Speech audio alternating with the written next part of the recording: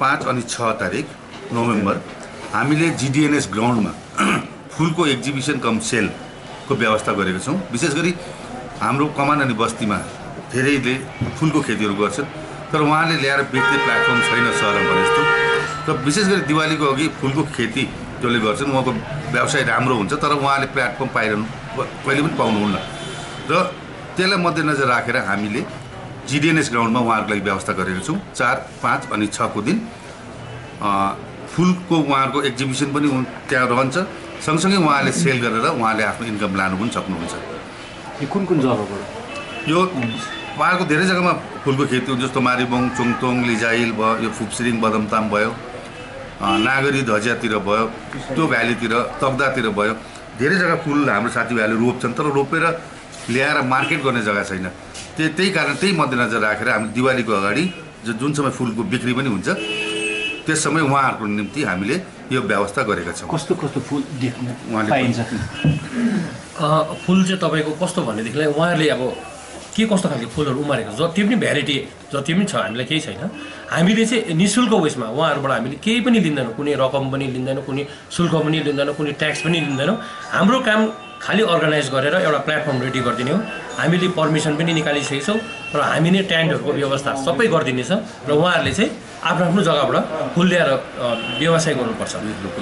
लोक अन्त हाम्रो अर्को ठुलो मेन विचार चाहिँ के छ भनेदेखिलाई अहिले हाम्रो गाउँघरमा जति पनि कमान बस्तीहरू छ है फुलको व्यापार त गरि नै रहेछ अब योपालि कमानको अलिकति योपालि उनीहरूको के अरे सोर्स अफ इन्कम पनि अलिकति यो राम्रो बोनस नभएकोले गर्दा आर्थिक चपेटमा परेको छ। र अलिकति उनीहरूलाई आर्थिक सहयोग पुगोस् साथै उनीहरू अलिकति सेल्फ डिपेन्डेन्ट भएर आफ्नो खुट्टामा एउटा फुललाई नै एउटा रोजगार आफ्नो मानेर चाहिँ अब आगामी दिनहरूमा चाहिँ अगाडि बढ्नु सकोस् भन्ने पनि एउटा हामीले एउटा मञ्च तयार गरिदिएको। अब हामीले भविष्यमा एउटा हामीले एउटा संस्था बनाएको छौँ जनसेवक संस्था भन्ने बनाएको छौँ। यही संस्थाको आयोजनमा यो कार्यक्रम भइरहेको छ। र यो जनसेवक संस्थाले अब आज हामी हाम्रो बेकारी भाइ बहिनीलाई मात्र नभएर भोलिको दिनमा हामीले जति पनि अब अब जनमानसमा जुन चाहिँ अब सोसियल जस्टिसको कुराहरू आउँछ त्यसमा पनि हामीले उहाँलाई साथ र सहयोग दिने एउटा अठोट लिएर आज हामीले यो कार्यक्रम चाहिँ फर्स्ट चाहिँ अब यो फुलको व्यापारबाट सुरु गरेको छौँ। र लक्ष्मी पूजाको दिन र त्यसको अगाडि चाहिँ जति पनि हाम्रो यहाँ अब उम्रिने लोकल सयपत्री फुल छ जसको आफ्नै सुगन्ध छ जसको आफ्नै एउटा आइडेन्टिटी छ त्यो फुललाई पनि हामीले प्रायोरिटी दिनुको लागि चाहिँ सस्तोभन्दा सस्तो मूल्यमा चाहिँ जिडिएस मैदानमा चाहिँ हामीले। फुल बेच्ने एउटा योजना बनाएको छौँ। र म हामी यस यस च्यानलको माध्यमद्वारा हामी बिन्ती गर्छौँ।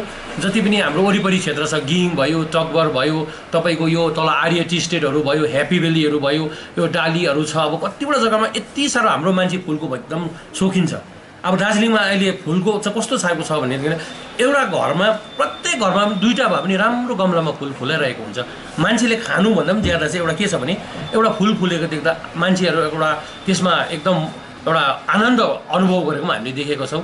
र त्यो फुलको लागि अब सेवामा बसिरहेको फुलको बिजनेसमा लागिरहेको फुललाई अब रोपकिन गरिरहेको जति हामी हाम्रो जति पनि वरिपरिको नागरिकहरू छौँ उनीहरूलाई चाहिँ हामी एउटा मञ्च दिने कोसिस गरेको छौँ। र कृपया यो फुलको बजारै हुन्छ। र हामी तिन तारिकदेखि तिन भन्दा भोलि दुई तारिकदेखि हामीले जिडिएनएस ग्राउन्डमा नै रेजिस्ट्रेसनको पनि व्यवस्था मिलाएको छौँ। र त्यहाँनिर हाम्रो टेबल चौकी राखेर बिहान एघार बजीदेखि बेलुकी दुई बजीसम्म हाम्रो भोलिन्टियरहरू बस्छ र जतिजनाले पनि यस हाम्रो यो फुलको प्रदर्शनीमा या फुलको यो व्यापारको बजारमा सहभागी हुन चाहनुहुन्छ भने कृपया तपाईँहरू आएर आफ्नो रेजिस्ट्रेसन गरिदिनुपर्छ त्यहाँ आएर।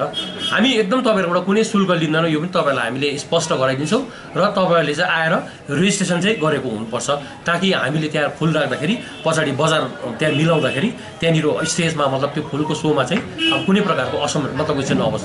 हामीले अक्टोबर चार पाँच छदेखि चाहिँ जुन चाहिँ यो फुलको यो बिक्री र प्रदर्शनीको अब कार्यक्रम राखेको छौँ ए नोभेम्बर है। क्षमा चाहन्छु।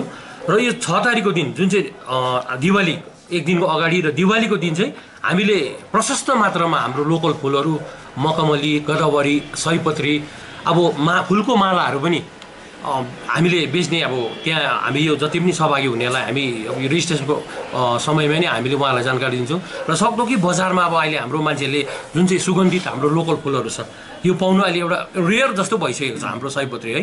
हराएर गइसकेको छ।